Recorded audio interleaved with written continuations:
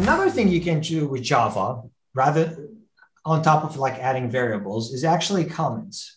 So, you know, a lot of you know the syntax of the code and it, as you become more and more like a you know diverse in that and like kind of learn more code you know it, it might some things might look kind of not clear to you or and when you write code and you want to send it to other people maybe sometimes it gets harder to understand right um, and this is actually a common thing uh, so for that um, most of the language out there and especially java give you a way to add comments inside the code so it's not comment outside, it actually, you know, kind of like a little bit of an insight of what your code is doing.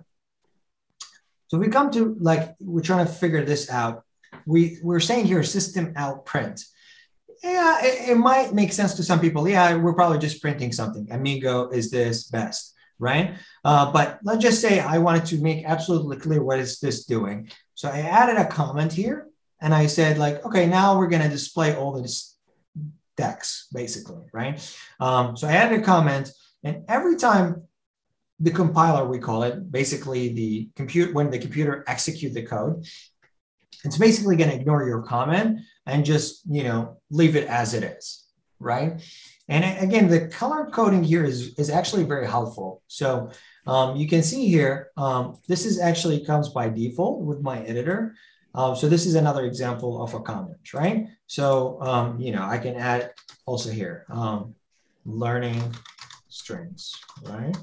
And you can see that, it, it, you know, it's grayed out. It's kind of telling you that this is not going to be executed. This is just for me, FYI. Okay. Um, so that's also another thing you can do with code.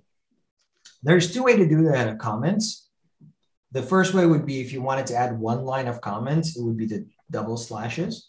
Or you can add the slash star and add multiple lines, right? Especially if you have a lot of comments to add.